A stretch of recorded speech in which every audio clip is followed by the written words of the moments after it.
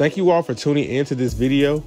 Today we're going to be doing a fade on very coarse hair, but we're going to use the same steps to start out just like any other haircut. So we're going to make our initial bald guideline around the entire head.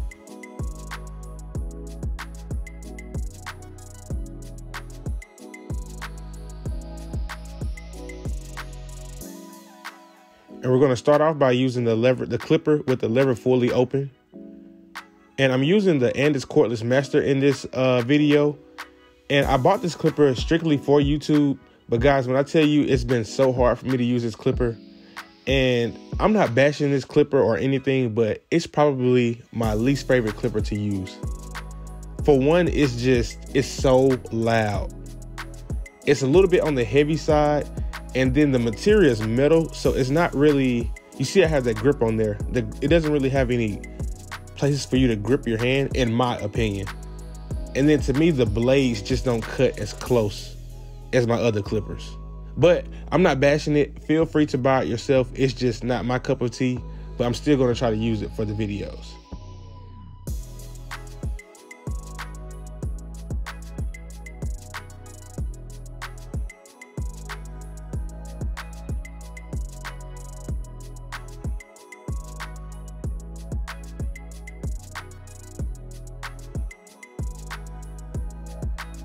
So now that we've blended out that bottom guideline, we're going to start with the one and a half guard and we're going to debulk the hair. Right now the lever is fully open and I'm going to gradually close it.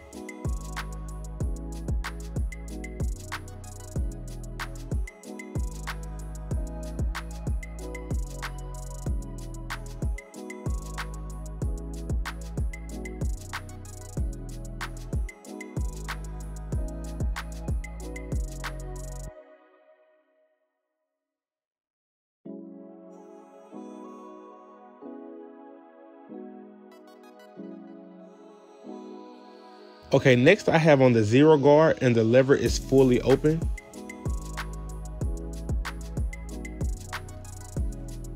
So I know if you see me use Wahl guards, I usually start out with the one open, but these guards blend different lengths in my opinion. So that's why I'm starting with the zero open. So the steps with the zero guard open, right now I'm closing the lever and then I'm gonna go halfway.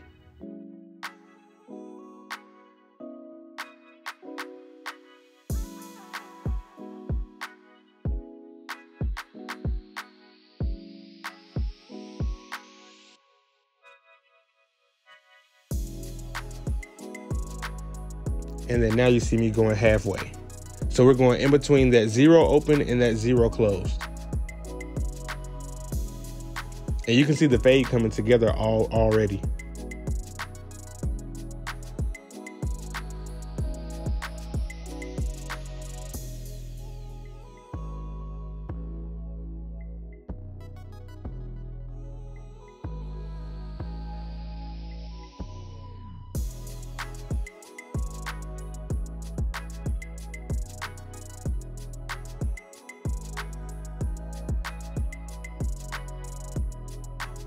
Okay, next I have the, I have on the one guard and the lever is fully closed. The fade is pretty much blended, but I'm just using the one guard to get any weight that I see. So any dark spots, you see me right, you see right there in that area, the hair is a little bit more dense. So I'm just using the corner of the blade with the one guard to touch up the fade just a little bit more.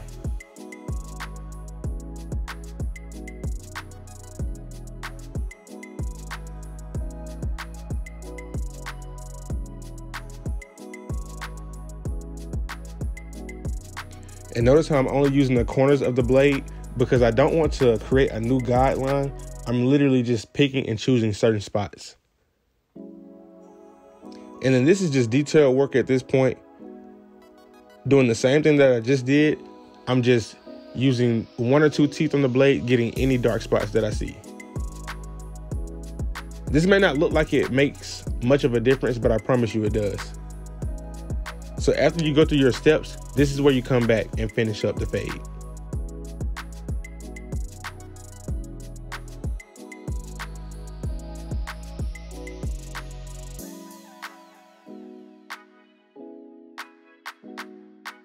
And I'm just gonna sit back and let you guys watch this.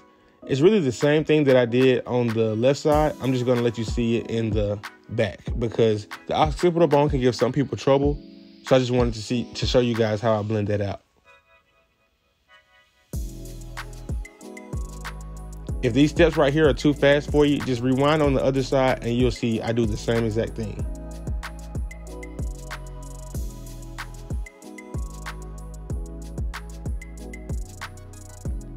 The only thing that I did different right here, I just started with the zero open.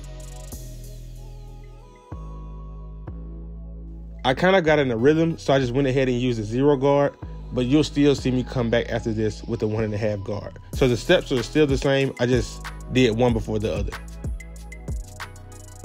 But either way will get you the same result.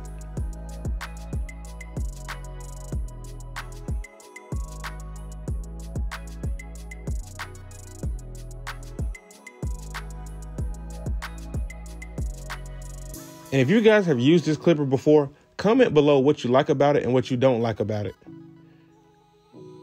I know it may have sounded like I was bashing it. I really wasn't. I was just giving my honest opinion. So I want to know what you guys think about this clipper as well.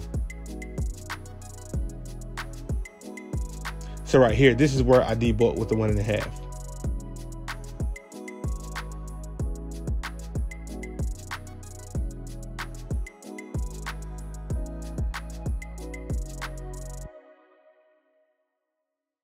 And then here I just come back with the one guard to to clean up any dark spots.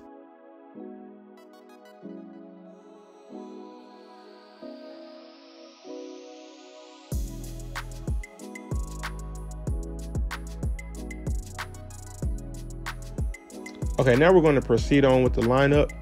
We're going to try to keep everything natural, but still get it crisp at the same time. So you just want to find that in-between point, that sweet spot.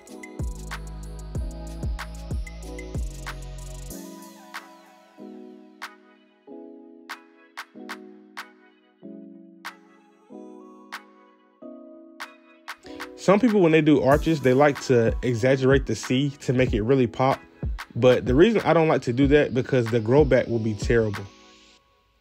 About three or four days after the haircut, you will really see where it was exaggerated and it just won't look good.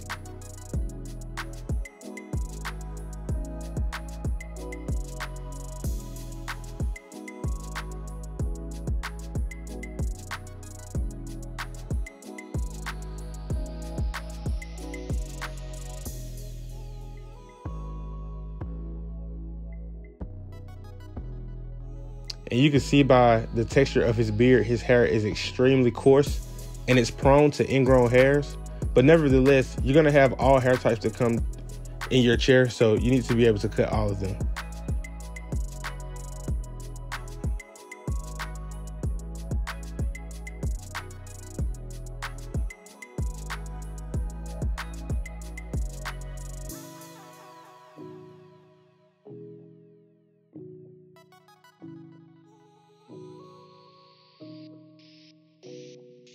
And I'm just adding some mousse and just styling his hair before I do the lineup. Just to give the haircut some another dimension, just to add some character to it.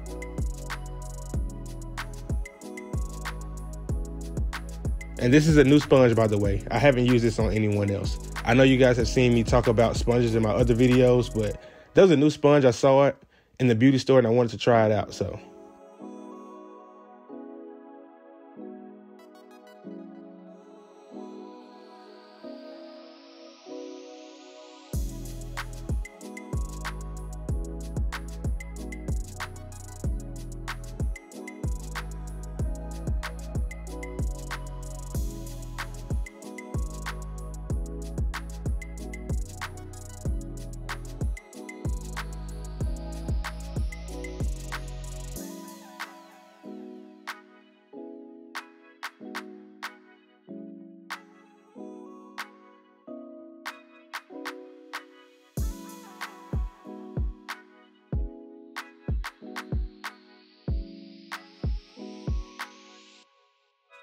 And I'm just going to add uh, some light enhancement to the front of his line just to fill in those light spots.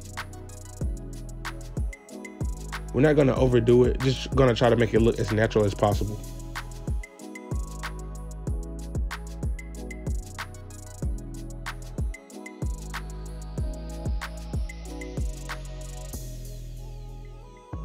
And here's the finished result, guys.